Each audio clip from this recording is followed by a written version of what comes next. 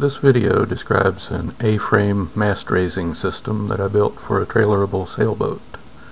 This is a fairly common way of raising a sailboat mast and I've seen these things made from lumber, electrical conduit, even fiberglass paint roller poles.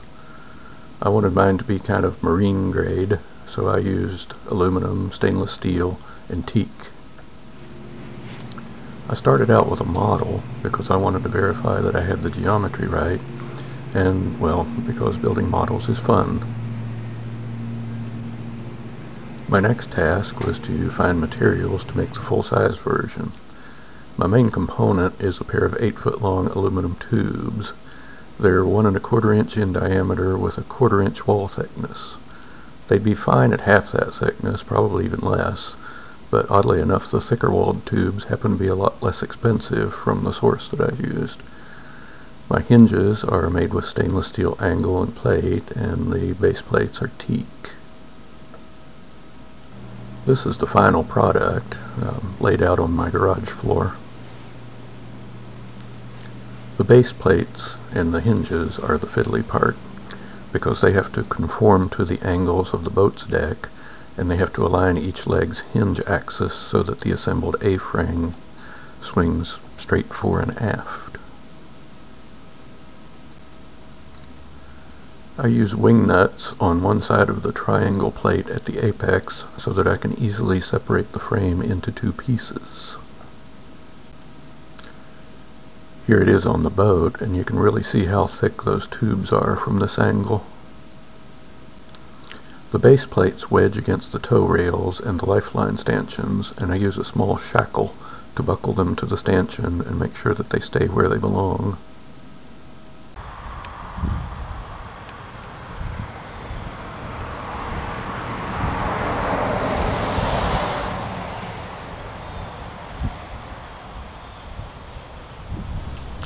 I use my main halyard to attach the mast to the frame and I also attached the jib halyard for redundancy. A 3 to 1 block and tackle attaches to the forestay chain plate and raising the mast is just a matter of hauling on the line. I run the line through one of my jib cleats so that I can cleat it off and stop at any point if I need to. You can see that I have my left hand on the mast but I'm not really doing any lifting with it. I just feel better about having a hand on there.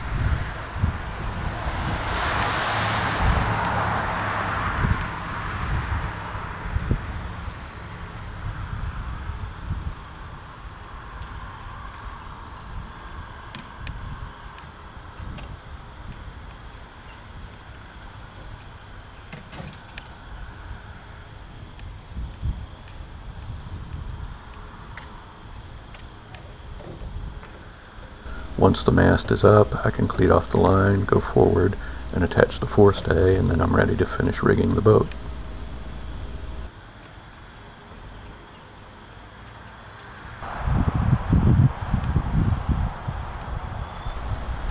Because the shrouds attach well below the mast step, they don't tighten up until the mast is almost all the way up.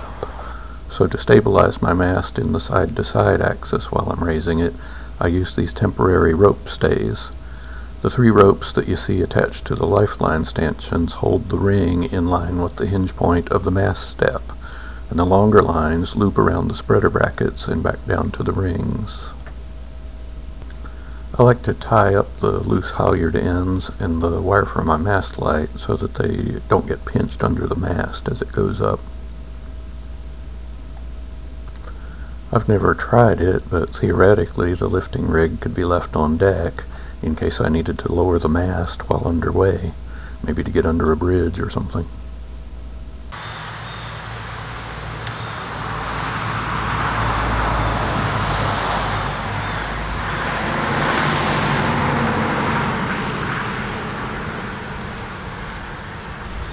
Lowering the mast is the reverse of putting it up. With the A-frame rigged as before, I unhook the forestay and let out line.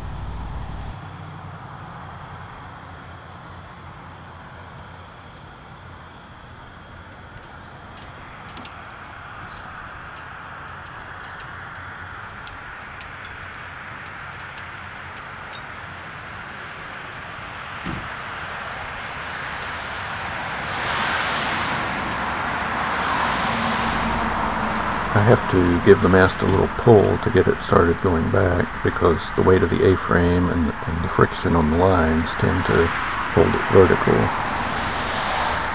I can cleat off the line and stop at any point while I'm lowering the mast, just like I could when I was raising it.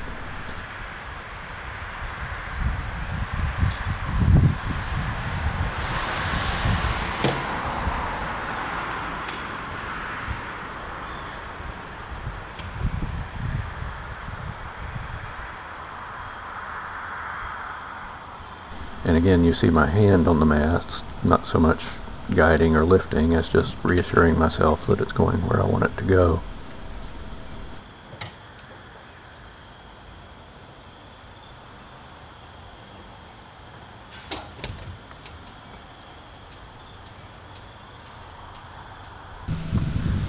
And once the mast touches down, I can take the halyards loose and lower the A-frame and I'm ready to start rigging the boat for the road.